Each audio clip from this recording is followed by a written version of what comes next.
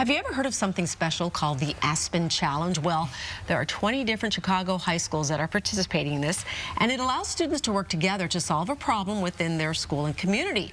So we brought a few friends from the school areas this morning, and they're joining us from Lynn Lindblom High School. This is Coach Gina Kaniva.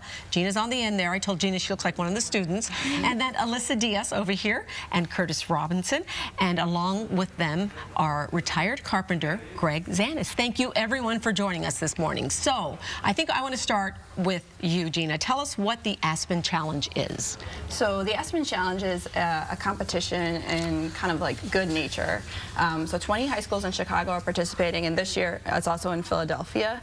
And so they are um, asking students, um, it's like a really big service learning project, to um, get out in their communities, get out in their schools, and solve a problem.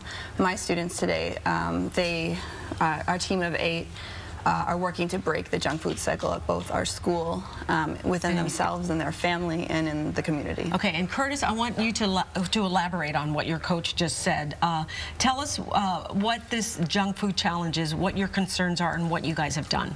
Um, so basically, we saw a problem within our own school. Students, um, they were eating junk food like every in the morning and after school. So we wanted to try to tackle that problem. And so one of the ways you tackle this problem is by this. Tell me about this. So our food pantry idea we actually got from Miss Kaniva because there were um, little like free libraries around the neighborhood. Yeah. And we decided that if people can pick a book out of a little free library, that they certainly can get a little snack from our food pantry. And so where are these located at the school? So we're gonna have one outside of our school, mm -hmm. one outside of Earl, and at two churches, and then Curtis. Um, we also have one one going at um, Metropolitan Family Services at Kennedy King. Okay. I Grow Chicago. Alderman Lopez's. Um, Alderman Lopez's office and a police station on 63rd.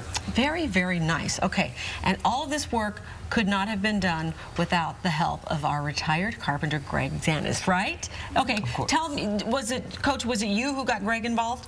Um, yeah, actually Alyssa mm -hmm. called oh, first, oh, okay. Um, but we had seen, you know, he did the crosses. Yeah, let's talk about that. Right. So, Greg, let's get a little history about you. People know you in Chicago who, they may not know what you've done, but you've been responsible for making those crosses that we've been seeing a lot for lives that have been lost as a result of violence. Yeah. I've been making crosses for 20 years, and as of lately, there was some controversy about uh, some crosses I had in Englewood. Mm -hmm. And and Gina reached out to me and asked me if I would help out with this project, and I just thought, wow, this is a great way to do something for the community.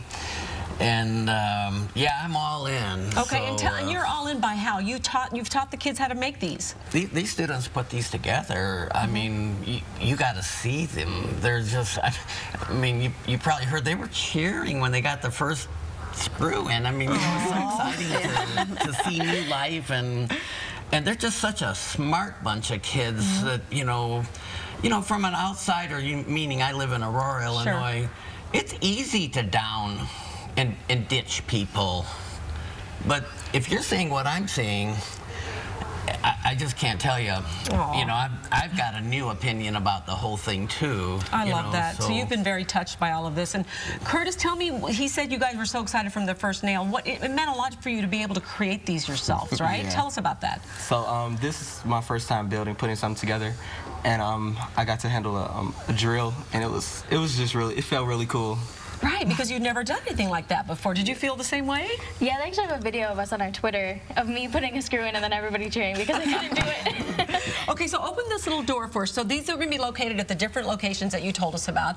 And are they free to whomever wants them? What are some of the snacks you have in there, and are they free? Um, we actually have a snack that was donated to us, the Bitsy's crackers. Okay. And then we're also going to be putting in little um, like cookbooks and also like snacks that we pay for. I love that. But we love donations. Okay, so you could use some extra help. Is there anything you want to add, Coach, about all of this? Um, so we've reached out to Home Depot about um, a donation for the plywood and mm -hmm. extra supplies like that, and it sounds like they're going to come through on it. Oh, um, that's so great. Yeah, and so we're also looking for more food donations as well. Well, I love that. Congratulations to all of you, including you, for taking part.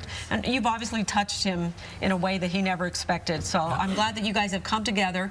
Here's the website that we uh, that have up on our screen there. If people want to find out more information, I will let you uh, give the website name. Go ahead, Curtis. Oh, the website name is superfoodshy.weebly.com. Okay, thank you very much. Congratulations. Keep up the good work. And you keep up the good work too, Greg. We appreciate it.